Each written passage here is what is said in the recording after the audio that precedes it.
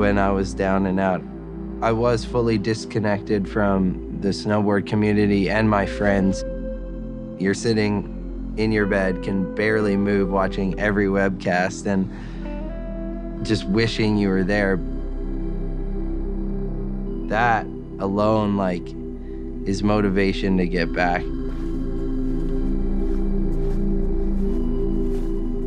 It's nice to be in the mountains again and see the snow.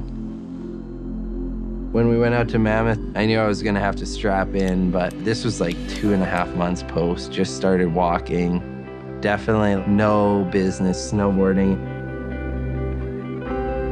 We were up on the mountain. I had to go a couple hundred meters to the jump. First run. First run, document this. I was like, whoa, my leg works. And then I started doing heels and toes. Just this one thing is such a small bump in the road, but it feels so dramatic. Yeah, buddy! You can't always listen to the doctor, man. You got to do what you're feeling. That's so fun! Little motivation when I get back to rehab, like I can almost taste it.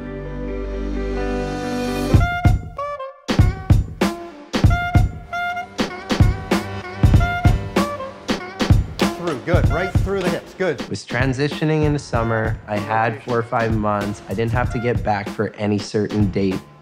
We've had the time to do what needs to be done without external pressure. Fostering that confidence is a big part of what rehabilitation is. Right through, right through. Push. He can say, I'm doing great. I can say he's doing great. And then we can actually test him and see where he's at. It's a dual force plate evaluation. So there's two force plates that are underneath the left and the right foot.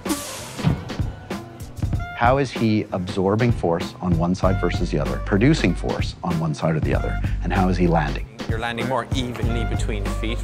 Really, the fundamental question is, am I ready? We're there. You're going to be okay.